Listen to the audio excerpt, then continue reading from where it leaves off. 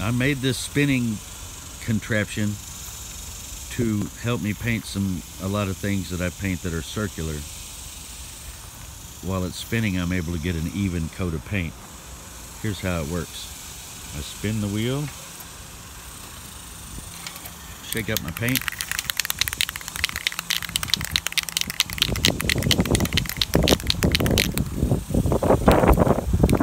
get the thing rotating smoothly, and then I bring the paint onto it.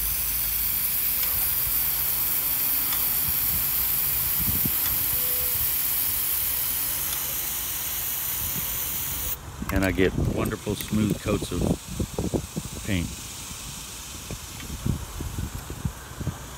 I paint with thin, thin coats.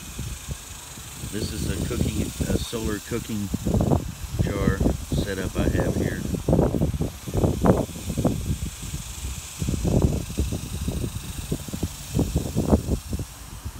I'm going to give it another coat of paint.